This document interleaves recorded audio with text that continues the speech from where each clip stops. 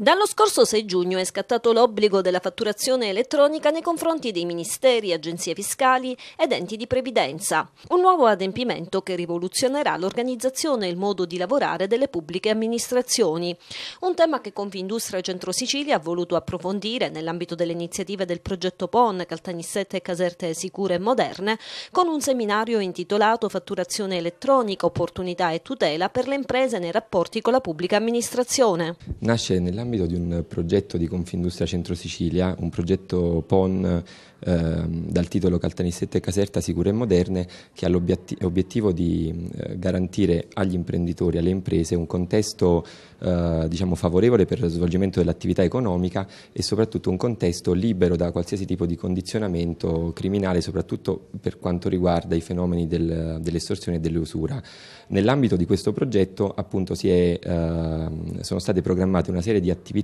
volte a migliorare eh,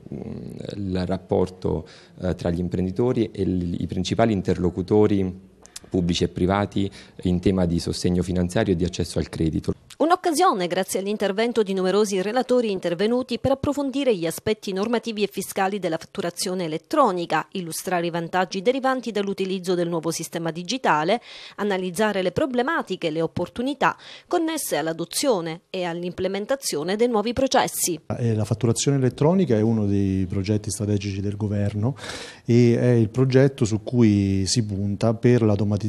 e il miglioramento dell'interazione tra la pubblica amministrazione e le imprese. Il vantaggio è quello di avere un rapporto più snello, che sia automatico per velocizzare poi tutto quello che riguarda sia il, le, dall'emissione della fattura fino al pagamento e quindi tutto il rapporto di ciclo mh, passivo verso la pubblica amministrazione. Dunque rientra nelle pratiche della digitalizzazione per snellire tutte le procedure burocratiche? Eh, sì, Diciamo che è il, è il, primo passo, la fattura naturalmente ha una funzione molto importante, eh, per cui si punta proprio a digitalizzare la fattura per poi digitalizzare tutto il, ehm, il ciclo amministrativo del, dell'impresa e della pubblica amministrazione.